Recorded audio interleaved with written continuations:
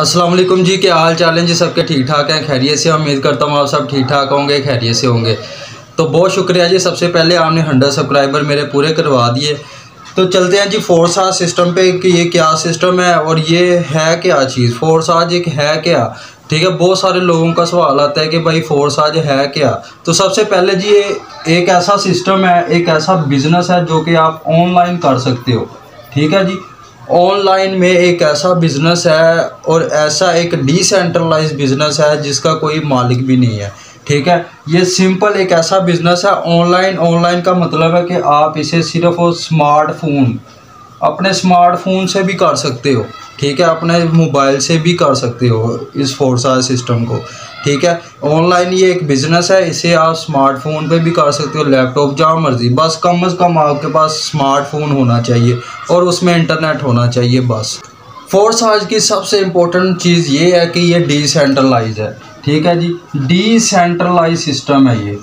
Decentralise का मतलब क्या होता है जी? इसका मतलब ये होता है कि ऊपर कोई इसका मालिक नहीं बैठा जो हमारे पैसे खा सके, ठीक है? कोई इसमें वो नहीं है कि एक मिस्टर लाडू है ना, उसने बना के ये छोड़ दिया ठीक है?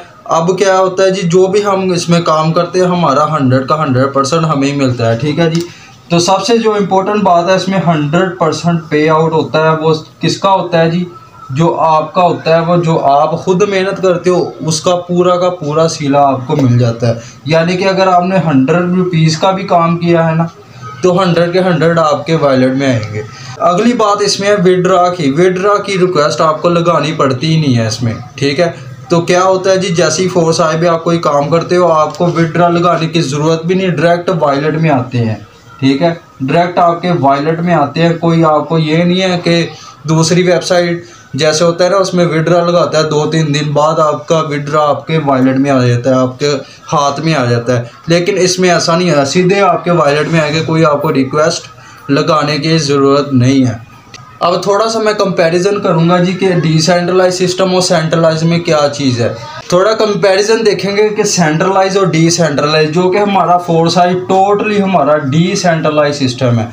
अब सेंट्रलाइज और डिसेंट्रलाइज का मतलब क्या है? सेंट्रलाइज में कोई ना कोई कंपनी होगी, ठीक है? कंपनी होगी जो आपको सारा का सारा आपका निज़ाम चला रही होगी, ठीक है?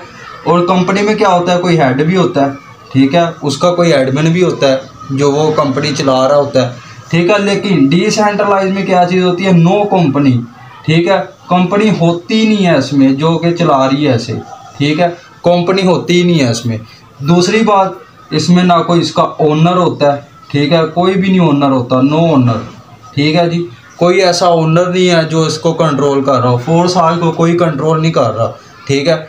अच्छा अब इसमें क्या होता है जी? स्कैम का जो चक्कर है, जो बहुत सारी दुनिया आज ऑनलाइन में बैठी है स्कैम स्कैम से बड़ा उनको डर रहता है। स्कैम जो है, वो आपको वही करता है बंदा जिसके कंट्रोल में कोई चीज़ होती है। ठीक है सेंट्रलाइज सिस्टम में ऊपर कोई मालिक बैठा है, आपका बॉस बैठा होगा, जो आपका ये स्कैम भी कर सकता है आपके साथ, कुछ भी कर सकता है, आपका अकाउंट बैन कर सकता है, ठीक है? अकाउंट आपका बैन हो सकता है सस्पेंड हो सकता है, लेकिन इसमें चूँकि हमारे पास बॉस जो है, वो है ही नहीं है बॉस है ही नहीं इसमें तो इसमें जो चांस है ना स्कैम का, वो ज़ीरो परसेंट है। ठीक है जी स्कैम क्या है जी? ज़ीरो परसेंट है। इसमें क्या है? इसके साथ स्कैम भी हो सकता है। ठीक है, नहीं भी हो सकता। वो मालिक की डिपेंड करता है आपके बॉस के ऊपर कि वो आपका अकाउंट बैन भी कर सकता है। अगली जो बात है, इसमें क्या होता है जी कि आपका जो मालिक होता है ना, उसने कोई ना कोई यहाँ पर लिमिट लगाई होती है।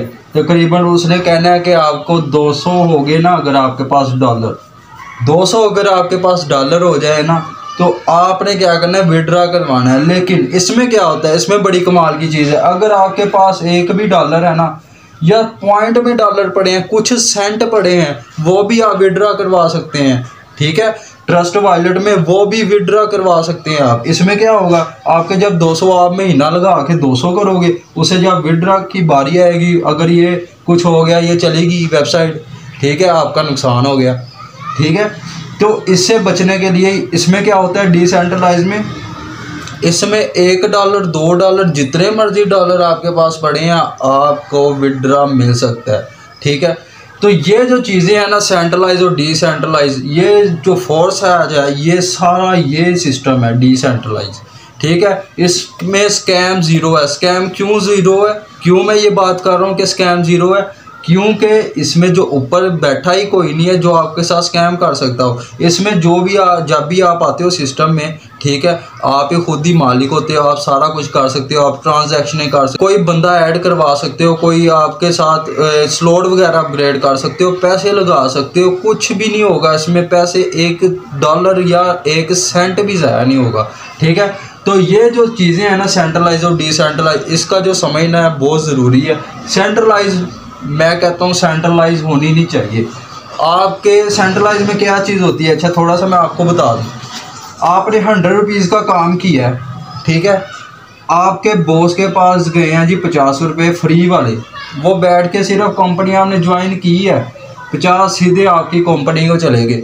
और बाकी कितने आ गए जी? पचास। आपने काम कितने का किया था? सौ का। आपको मिल रहे हैं पचास।